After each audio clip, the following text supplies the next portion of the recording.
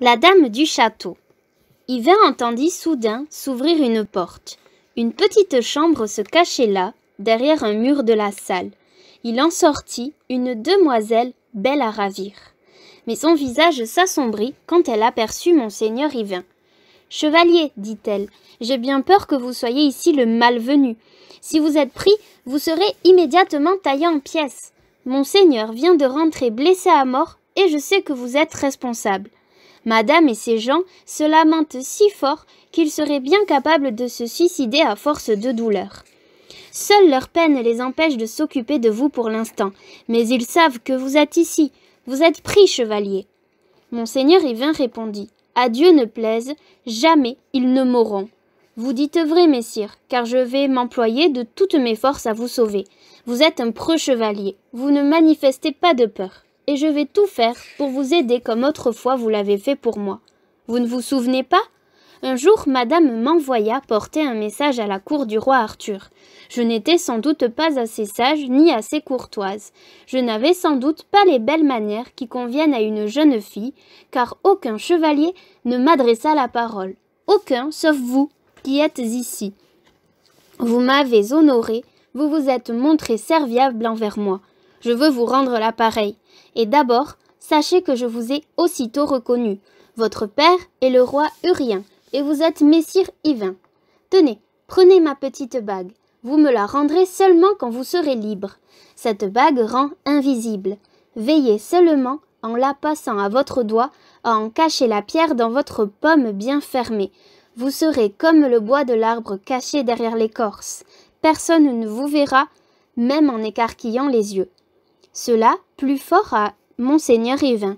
La jeune fille le fit avancer dans la salle et l'invita à s'asseoir sur un lit recouvert d'une luxueuse couverture. Puis elle lui apporta à manger poulet rôti disposé sur une énorme tranche de pain, un plein pot de vin noble dans un anape resplendissant. Yvain se servit copieusement. À la fin du repas, la jeune fille lui dit Vous entendez? Les voilà à votre recherche. Surtout ne quittez pas le lit. Ils vont enrager de ne pas vous trouver. Je vous quitte. Un groupe d'individus excités pénétra dans la salle, après avoir fait relever les portes qui avaient retenu Yvain prisonnier. Ils avaient vu le cheval coupé en deux, le chevalier ne pouvait donc qu'être ici. Mais aucun d'eux n'avait l'œil capable de voir l'homme invisible. Ils eurent beau chercher, ils ne trouvèrent pas celui qu'ils voulaient tuer de leurs mains. Ils fouillèrent partout, sous le lit, donnèrent des coups de bâton comme des aveugles, et ne rencontrèrent que le vide. Sommes-nous ensorcelés? s'inquiétait-il. Il, n'y a pas d'autre porte, pas d'autre issue. Nous avons vu le bout de ces éperons coupés à ras. Il ne peut être qu'ici. Pour s'enfuir, il faudrait être un oiseau ou une petite souris. Ils frappèrent les murs, les bancs et les lits, mais pas celui où le chevalier se tenait. C'est alors qu'une dame arriva, si belle qu'on n'en vit jamais de semblable dans toute la chrétienté. Mais elle vacillait de douleur. Elle se lamentait à voix haute, s'arrachait les cheveux, déchirait ses vêtements, se pâmait au bord de l'évanouissement, puis se remettait à pousser ses cris à cause de son mari. Là, devant elle, on l'emportait en procession sur un brancard mortuaire. En tête du cortège s'avançaient les croix et les cierges portés par les dames d'un couvent. Ensuite venaient les porteurs de livres saints et d'encens et les clercs chargés d'apporter la consolation aux âmes en peine. Et soudain, du sang clair encore chaud se mit à couler des plaies du cadavre.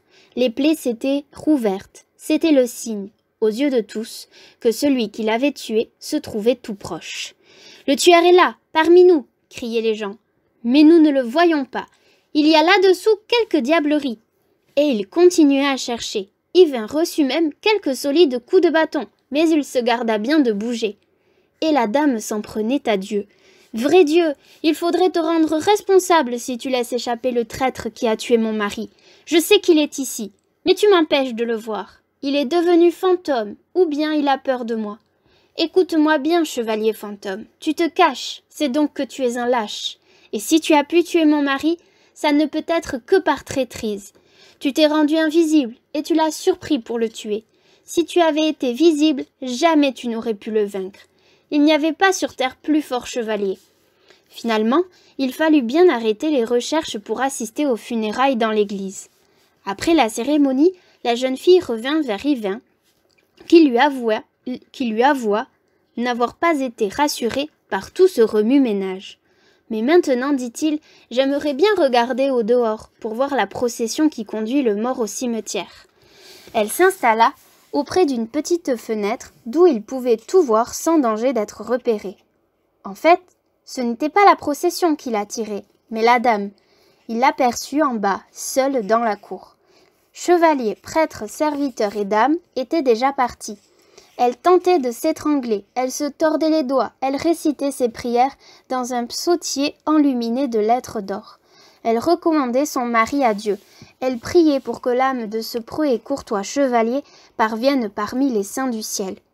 Yvain brûlait de la rejoindre pour la consoler. Mais la jeune fille lui dit Messire Yvain, je vous en prie, ne bougez surtout pas d'ici. Ne commettez aucune folie. Je dois partir, car on va s'étonner de ne pas me voir au milieu des gens du château. Mais vous, restez cachés. Vous êtes en sécurité ici. Elle part, et Yvain reste. Il voit par la fenêtre le corps du chevalier, qu'on porte en terre. Que le félon, le pervers, ne se privera pas de lancer railleries et insultes, car Yvain ne pourra pas ramener la moindre preuve qu'il a tué le chevalier. Mais son cœur blessé à la pensée de ces railleries et consolé par de douces images.